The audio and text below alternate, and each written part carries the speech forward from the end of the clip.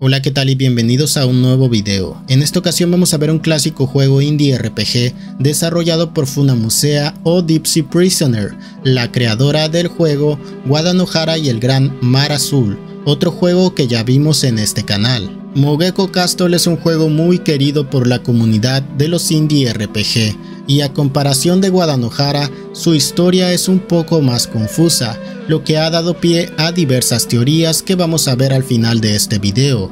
Por lo pronto, vamos a conocer su historia. Y prepárense, porque ahora sí, se viene lo turbio.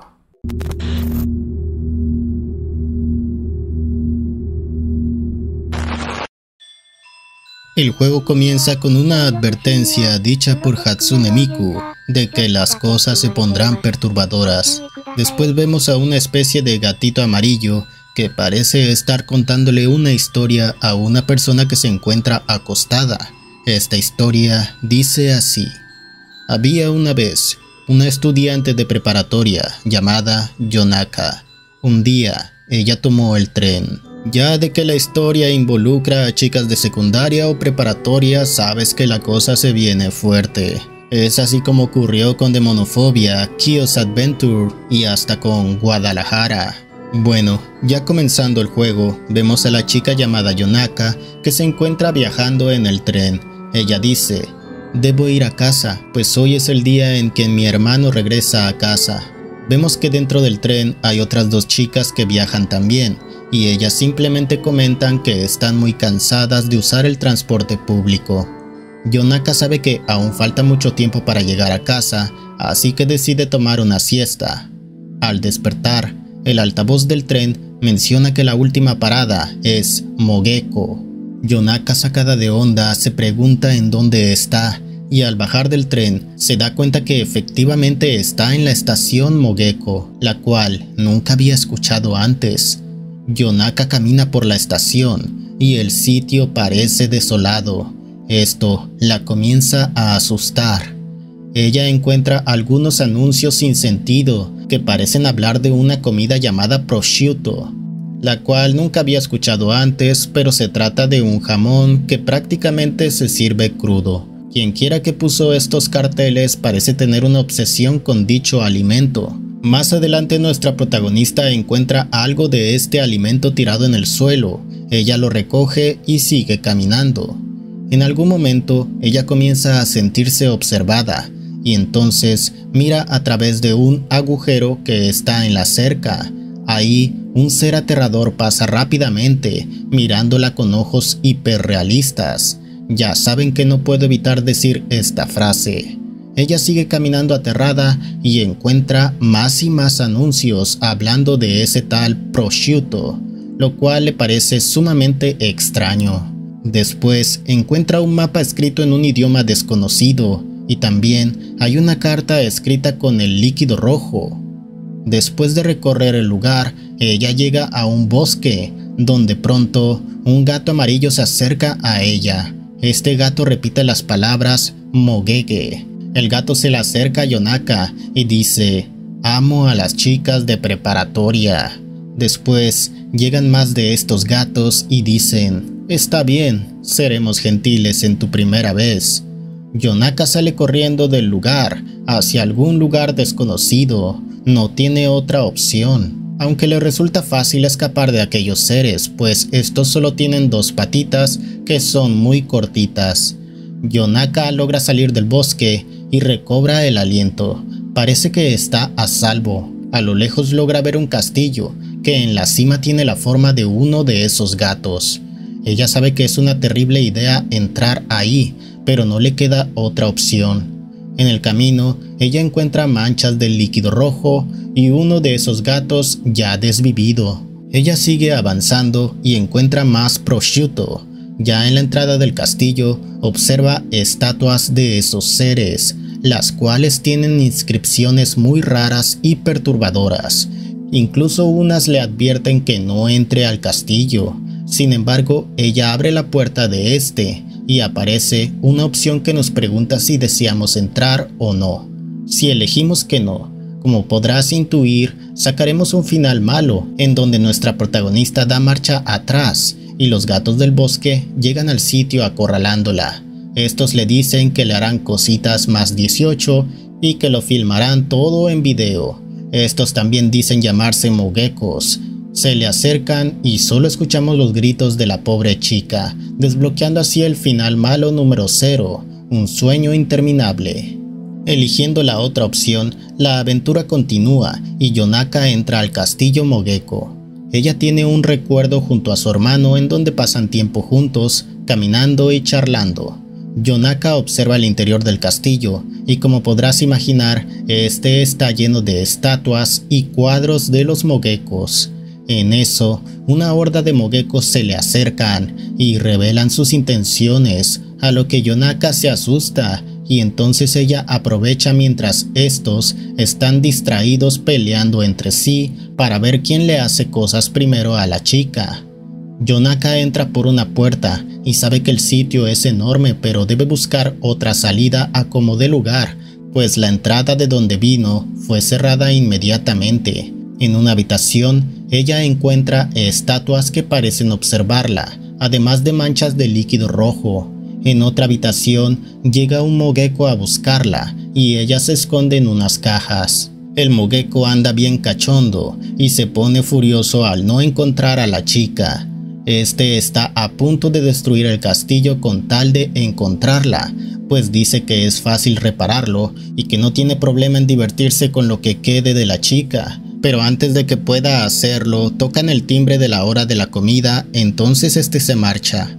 Yonaka da un vistazo al comedor y observa a todos los moguecos felices comiendo mucha comida deliciosa. Ella regresa a la habitación y encuentra una carta en la que un padre se disculpa con su hija, además de advertir a quien quiera que lea esta carta que debe de escapar de este sitio a como de lugar. Yonaka sale de la habitación por otra puerta y el siguiente sitio es sumamente bizarro. El cambio en la ambientación es tremendo. El pasillo es aterrador con figuras extrañas. Las manchas de líquido rojo no pueden faltar y vemos un montón de moguecos manchados quienes se acercan a Yonaka. Aquí, si decides hablar con uno de estos, entonces Yonaka comienza a preguntarse por qué está en un sitio como este, y entonces ella es consumida por la oscuridad del castillo se nos muestra a la chica llena de ojos hiperrealistas en todo su cuerpo, mostrándonos así el final malo número uno, asimilación.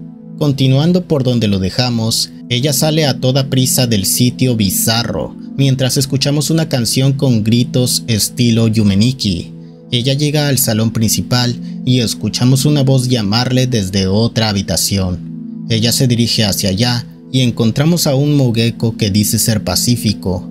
Este está tomando el té. En la habitación vemos una figurita de Guadalajara haciendo referencia a otros juegos de la creadora. Bueno, de hecho a lo largo del juego hay muchas referencias. El mogueco le dice a Yonaka que para escapar debe ir a los pisos superiores. Además le da un cuchillo para que pueda defenderse. El mogueco le dice que en realidad no tiene una razón en particular para ayudarla y que simplemente lo hace porque sí. Antes de marcharse de la habitación, Yonaka revisa el lugar y encuentra montones y montones de revistas no por.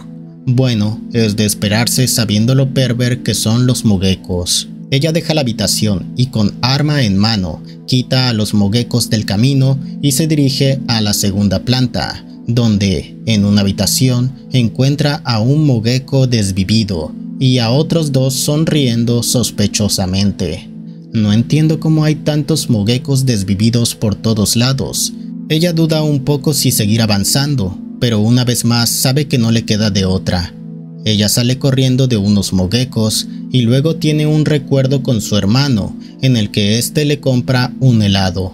Ella llega a un nuevo sitio que se llama el Camino Rojo. Ella se siente muy cansada, pero entonces piensa en su hermano y en su deseo de verlo.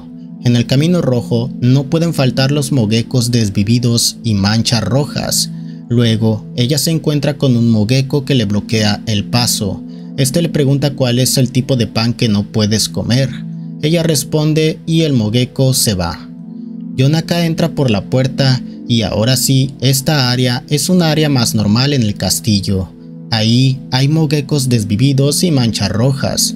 Bueno, esto ya lo consideramos normal. También vemos algunos moguecos con los que puedes charlar y no nos hacen daño, lo cual nos dice que no todos están locos. Avanzando, ella nota en un pasillo lo extrañas que se ven las pinturas. De pronto, una de estas le habla. El mogueco de la pintura sale de esta y dice, no puedes correr de mí, a lo que ella se echa a correr. Ella corre entre los pasillos y una horda de moguecos la persiguen una vez más, hasta que finalmente ella se salva encerrándose en una habitación. El mogueco al otro lado de la puerta le dice que le hará cosas terribles. En la habitación hay unos moguecos pacíficos, una estantería de libros con mucho no por. Parece que esto es lo único que leen estas criaturas. Saliendo al pasillo, este es extraño, aunque no es aterrador. El sitio es tranquilo y hay una especie de moguecos larvas, además de un hada del prosciutto, o al menos esta se hace llamar así. El hada le da una llave a nuestra protagonista, la cual le permitirá seguir avanzando. Ahora aquí aparece una opción al acercarse al mogeco hada, pues se nos permite eliminarla. Si lo haces, desbloquearemos un final distinto. En este caso estaremos en la ruta en la que eliminamos a este tipo de Mogeko. Al eliminarlo no pasa nada hasta el final, por lo que seguiremos con la aventura. Yonaka camina y luego se encuentra a Kurotsuno, alguien con forma humanoide que no dice mucho, solo que está buscando algo que se le cayó. En otra puerta Yonaka siente el peligro y se da la opción de entrar o no. Si lo hace, un montón de larvas mogeko la atacan y plantan sus huevecillos dentro de ella, provocando que ésta pierda la vida y obteniendo así el final malo número 2. Eligiendo la opción correcta, Yonaka sale del pasillo mágico y llega a una habitación donde hay moguecos inofensivos. Ella sube por unas escaleras y llega al siguiente piso. Ahora vemos a unos moguecos charlando que dicen, todo es como Moguetán lo había planeado. En este nuevo piso o capítulo se presenta otro recuerdo donde vemos a Yonaka hablándole a su hermano, quien parece estar tirado en el suelo. Los recuerdos siguen siendo confusos y no parece haber mucho contexto, tal cual ocurría en el juego de Guadalajara, donde veíamos un chingo de recuerdos y no se entendía absolutamente nada. En este juego ocurre lo mismo. Ya en el nuevo piso, Yonaka explora las habitaciones. En una vemos a personajes de los juegos de Funamusea en la TV. En otra habitación vemos a un montón de moguecos dormidos. En otra a un mogueco morido. Y por fin, después de ver a tantos moguecos moridos, sabemos qué le ocurrió a este, pues en la misma habitación hay uno en la cama que dice que lo eliminó debido a que este insultó a Moge Tan. En otra habitación, un mogueco le pide a Yonaka que duerma con él. Si decides hacerlo, sorprendentemente no pasa nada. Bueno, en realidad sí pasa algo muy importante, algo de lo que no me di cuenta a la hora de jugarlo pero supuestamente el estatus, por así decirlo, de Yonaka cambia de ser una joven estudiante a una mujer. Esto lo vemos en la tarjeta de estudiante de Yonaka. Más adelante veremos algunas teorías al respecto de esta pequeña curiosidad. Avanzando a otra habitación, vemos un montón de libros no por, como es costumbre, pero esta vez Yonaka encuentra un libro diferente, uno que menciona la cacería de los moguecos defectuosos.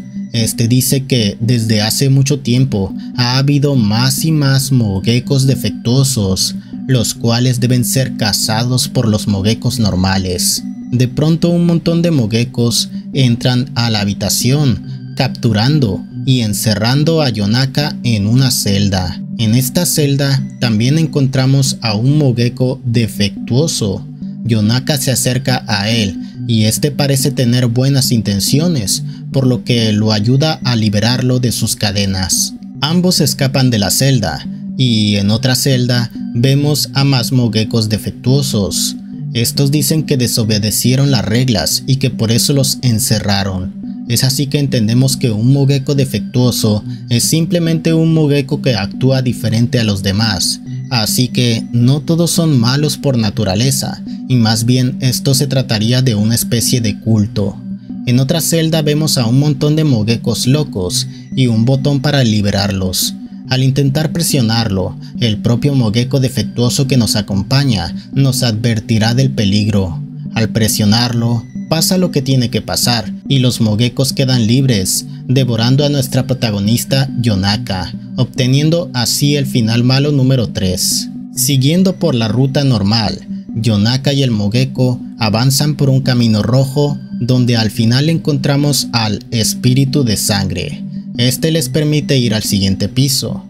Ahora como ya sabemos, vemos otro recuerdo o fragmento de la historia. Aquí una persona misteriosa dice, Yonaka vendrá a mí. Ahora vemos a Yonaka decir, me alegra que estés a salvo, hermano. Ya en el siguiente piso, en una de las habitaciones, encontramos a otros dos personajes con forma humana. Estos no dicen mucho, solo que se quieren ir del lugar.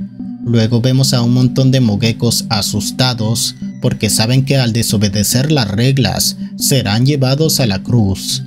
Yonaka no puede evitar notar que todos los moguecos de este piso están muy asustados, a lo que el mogueco defectuoso le dice que la reina mogueco controla este piso. Ellos siguen avanzando y en una habitación encontramos a varios moguecos en la cruz. Ya cuando llegan al final del pasillo encuentran un elevador que los llevará al siguiente piso. Ambos se sienten aliviados, pues parece ser que evitaron a la tal reina Mogeko, o mejor dicho, Moge-ko, pues así se llama. Lamentablemente momentos después, esta reina aparece junto con su ejército de Mogekos. Ella los amenaza y estos salen corriendo hasta esconderse en un cuarto. Habiendo perdido a la reina, ellos salen de ahí y siguen explorando. En una habitación escuchan a alguien llorar. Yonaka toma un martillo que estaba cerca y decide forzar la puerta.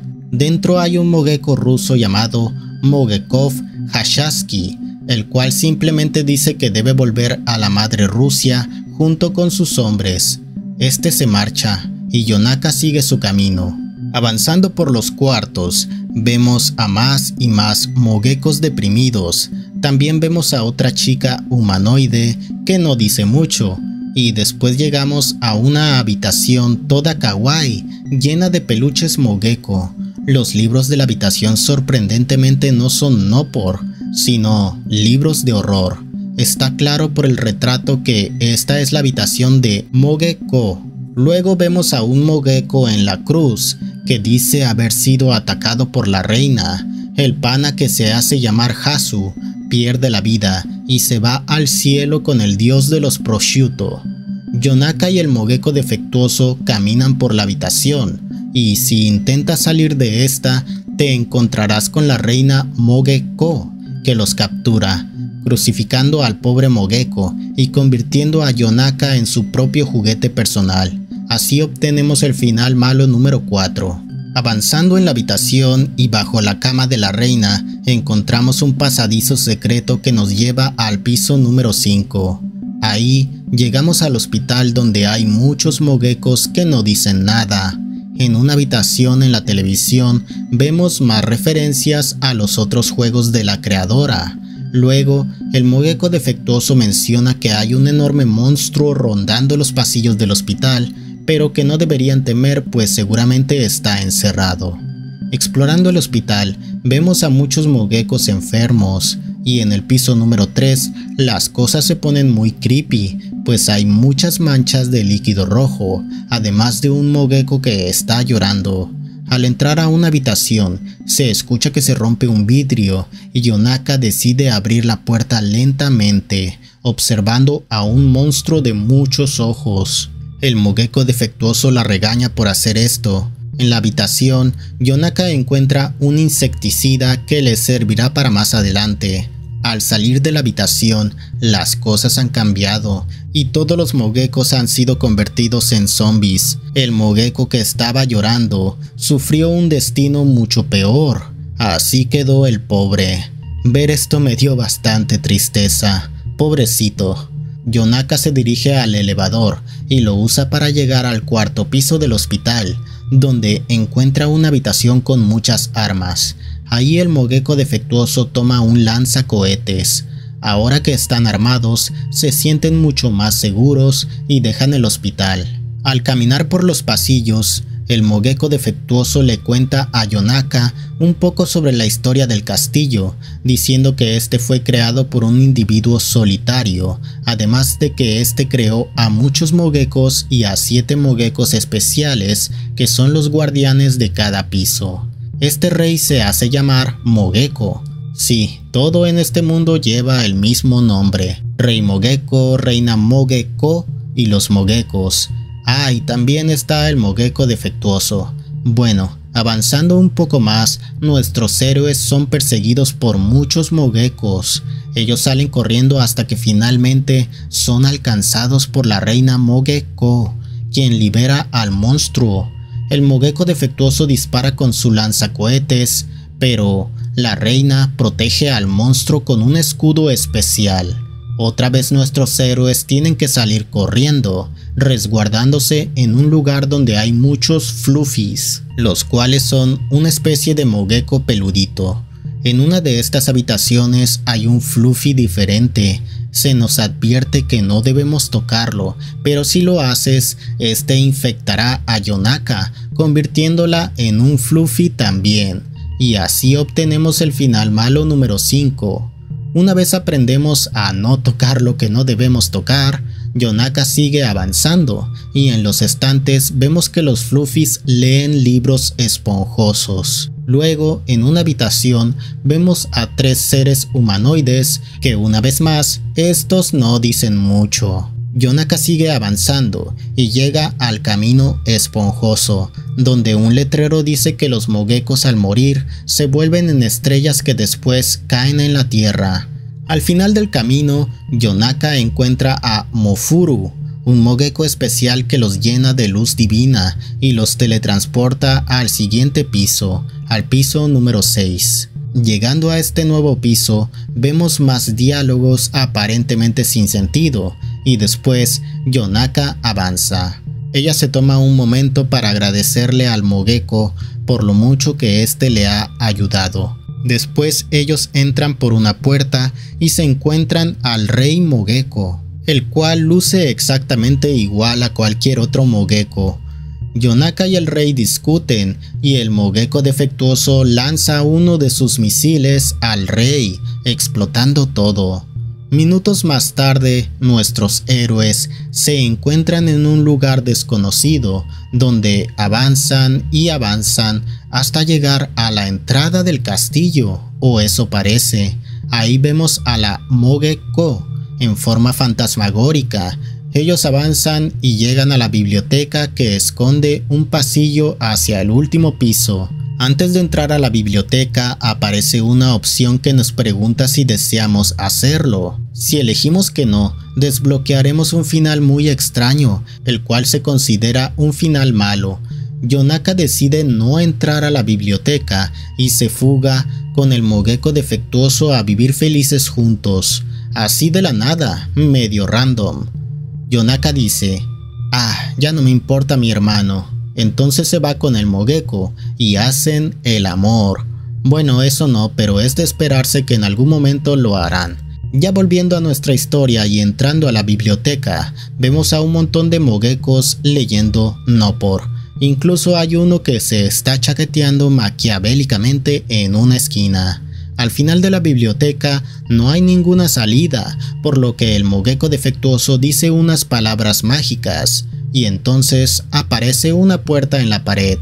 Ellos pasan por un camino lleno de pollitos y llegan con el mogeco especial Mogekuku. Este les ayuda a teletransportarlos al último piso, aunque antes de hacerlo, el rey Mogeko los ataca y elimina al rey pollo. Nuestros héroes salen corriendo entre pasillos y puertas hasta que el rey Mogeko los alcanza y el Mogeko defectuoso le dispara con su lanzamisiles, además de tirar una bomba con gas lacrimógeno. Ellos logran escapar. Ya con las cosas en calma, el Mogeko defectuoso revela algo que la verdad ya se venía a venir. Él es el séptimo y último Mogeko especial. Además, este revela que en el pasado tuvo diferencias con el rey Mogeko, por lo que este lo mandó a una celda en donde lo conocimos. El Mogeko defectuoso le pide a Yonaka que siga por su cuenta, y entonces este se enfrenta con el ejército Mogeko y con el rey. Este elimina a todos los Mogekos con su espada, y entonces cuando se enfrenta al rey, este lo hiere de gravedad, y así es capturado el Mogeko defectuoso. El ejército de Mogekos lo lleva a una cruz en donde le prenden fuego. Así nuestro querido amigo pierde la vida. Yonaka observa todo desde una habitación. Ella sale de su celda y toma unas escaleras llegando al último piso. Ahí, ella abre una puerta y llega a un autobús. Ella piensa que todo ha sido un sueño. Yonaka toma el autobús y llega a su casa. Ahí se encuentra con Shinya, su hermano, pero este está manchado de líquido rojo, pues ha eliminado a su familia. Ella sale corriendo y si el hermano la alcanza, obtenemos el final malo número 7, verdad ficticia. Ahora, si Yonaka escapa, esta llega al autobús y lo toma para escapar. Dentro se pregunta si acaso todos los moguecos, incluso el defectuoso, sabían que el destino final de este trayecto era llegar a su casa donde encontraría a su hermano endemoniado. Ella toca el timbre del autobús para bajar, pero este no se detiene. El conductor resulta ser un mogueco, que la está llevando de vuelta al castillo. Al finalizar la ruta, llegan a un lugar extraño, en donde vemos varios eventos importantes que aparecieron a lo largo del juego. Yonaka se encuentra con el rey Mogeko, y ella lo aparta con facilidad, continuando con su camino. Al final llega a una puerta y a una escalera, Avanzando llega a su hogar una vez más. Ahí, de nuevo encuentra a su hermano endemoniado.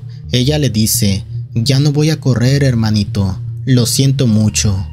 Ella lo elimina y después vemos a los moguecos especiales diciendo, debes pagar por haberte desviado del camino. Ella se acerca a una cruz y es teletransportada a un lugar donde está el rey Mogeko y la reina Mogeko. Yonaka llega y les echa insecticida, noqueando a Mogeko y eliminando al rey. Ella le remueve la cabeza y se la pone como corona, convirtiéndose en la nueva reina del castillo, en el nuevo dios prosciutto de los Mogekos. Desbloqueamos así el final normal del juego, el cual como dije hace mucho, se desbloquea eliminando a por lo menos uno de los Mogekos especiales. Y esto es bastante tentador por lo que es normal llegar hasta este final en tu primera partida. Ahora veamos el final verdadero, tomando la ruta pacífica por decirlo así. Yonaka llega a las puertas finales y se pregunta si queremos ir por el sendero de la mentira. Entonces, Yonaka entra a su hogar y elimina a su hermano, tal cual ocurrió antes, pero este dice que lo siente mucho y que se alegra que finalmente le pusiera un final a todo.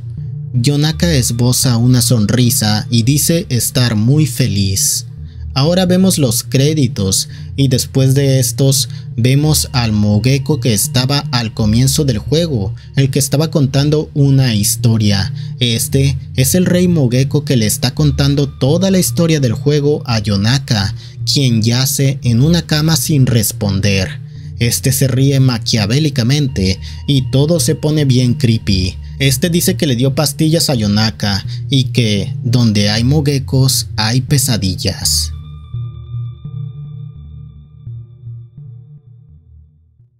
Mogeko Castle es un juego bastante entretenido. Me gustó bastante el ritmo que maneja, no se siente pesado o aburrido en ningún momento. Lo único que no me gustó fueron los flashbacks o recuerdos que tiene la protagonista, que al igual que Guadanohara, estos son muy ambiguos. Es por eso que omití entrar en detalles a la hora de escribir este guion sobre aquellos recuerdos. Me hubiera encantado que estos brindaran un poco más de contexto.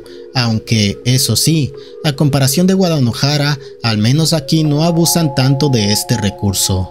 La historia del juego tal vez parezca un poco sin sentido y en ciertos momentos no se toma muy en serio, pero todo está justificado, pues el propio juego es una sátira a varias cosas que vemos dentro del mundo otaku, como lo son los propios mogekos, que son unos perversos que aman a sus waifus y se pelean entre sí si tienes una opinión distinta a la suya. Una cosa que no entendí es la aparición de los personajes randoms que no tienen importancia en la trama. Desconozco si estos aparecen en otros juegos de la creadora o tal vez en algún cómic se les dé más contexto. La historia de Mogeko Castle es algo ambigua y ha dado pie a diversas teorías que se diferencian principalmente en que algunas tratan de explicar cada una de las cosas que vemos en el juego. En otras palabras, se sobreanaliza el juego como ocurrió con Yumeniki. A pesar de esto, todas las teorías coinciden en los puntos más importantes y claros en la historia. Algo que no se explica en el juego y que es lo más importante es qué fue lo que ocurrió en el pasado entre Yonaka y su hermano. ¿Qué fue lo que lo llevó a que se fuera de casa por un largo tiempo y por qué éste eliminó a sus padres? Vayamos a lo más claro y lo que tiene más sentido. Esta es mi teoría de Mogeko Castle. Yonaka y su hermano Shinya eran muy unidos durante su niñez y adolescencia. Eso está muy claro. Sin embargo, hubo un incidente que provocó que su hermano se fuera por un largo tiempo. Muchos teorizan que el hermano mayor se aprovechó de Yonaka, algo en lo que estoy de acuerdo. Esto explicaría muchas cosas dentro del juego. Todo parece indicar que ese amor de hermanos fue llevado demasiado lejos por Shinya, y debido a la inocencia de Yonaka, ella jamás comprendió la situación. Probablemente los padres se dieron cuenta de esto y mandaron a su hijo a algún reformatorio o instituto mental, cumpliendo un tiempo fuera de casa y apartado de su hermana. En el tiempo que Shinya estuvo apartado, Yonaka fue llevada por sus padres a alguna institución mental para tratarla psicológicamente, esto debido a las cosas que le hacía su hermano y que ella encontraba normales. En esta institución le dieron medicamentos que le ayudarían a lidiar con sus problemas. El día que su hermano vuelve a casa, este elimina a sus padres y es que había guardado mucho rencor por lo que le hicieron. Yonaka vuelve a casa y descubre lo que hizo su hermano, sin embargo, ella logra salir con vida, y un tiempo después cae en una alucinación provocada por la ingesta excesiva de medicamentos. Es ahí cuando todo lo que sueña es lo que vemos en el juego. Las criaturas Mogeko tienen esa actitud perver porque estos representan los actos que hacía su hermano Ayonaka. Y es que a pesar de que ella lo vea como algo normal, el hacer eso a una edad tan temprana tiene consecuencias en el comportamiento, cosas que pueden incluir generar una fascinación al no por. Como sabemos, no todos los moguecos son iguales, algunos son buenos y le ayudan. Esto representa así la negación de Yonaka, pues ella cree que aquellos actos con su hermano fueron una demostración de amor. Ahora, para mí, no hace falta analizar los finales malos, así que analicemos el final normal, el cual se obtiene al eliminar a los mogekos especiales. Estos mogekos le están ayudando a Yonaka a que descubra la verdad, a que abra los ojos. El eliminarlos es un acto de negación, lo cual provoca que ella siga viviendo en su mundo de fantasías, provocado por los medicamentos. En el final verdadero, ambos hermanos se perdonan y Yonaka es feliz pues se ha liberado de todo. En otras palabras, ella logra aceptar y perdonar todo lo ocurrido. Sin embargo, ella no tiene un final feliz, pues probablemente haya perdido la vida debido a la ingesta excesiva de medicamentos. Otra cosa que refuerza la teoría de que el hermano le hizo algo a Yonaka es lo que vemos en uno de los cuartos especiales del juego. Aquí vemos una mini historia que es como una parodia. En esta, una mujer entrevista a Yonaka y la comienza a molestar diciéndole que le gusta a su hermano y que ambos hicieron cosas. Ella se pone muy nerviosa y lo niega todo. Es un easter egg algo extraño. Y más o menos esa sería la explicación de Mogeko Castillo. Como digo, todas las teorías son muy similares, un detalle más o un detalle menos, pero a mí me interesa saber si es que tienes una teoría diferente y si es así déjamela saber en los comentarios y nos veremos en un próximo video. Adiós.